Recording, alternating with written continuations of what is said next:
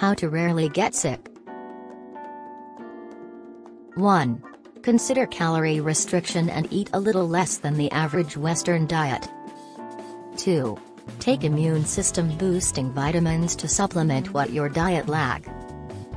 3.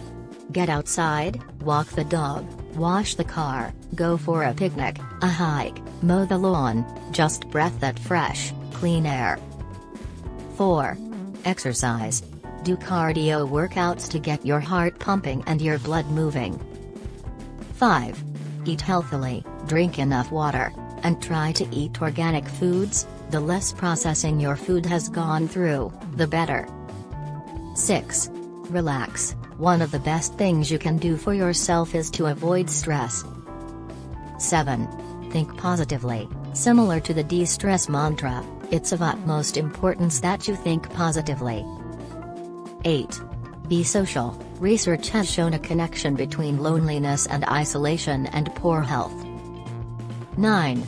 Avoid tobacco, alcohol, and drugs. These things all wreak havoc on your health. 10.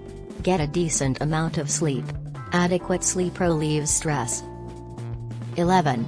Practice proper hygiene, shower regularly, brush, floss, and gargle. Thanks for watching and don't forget to subscribe.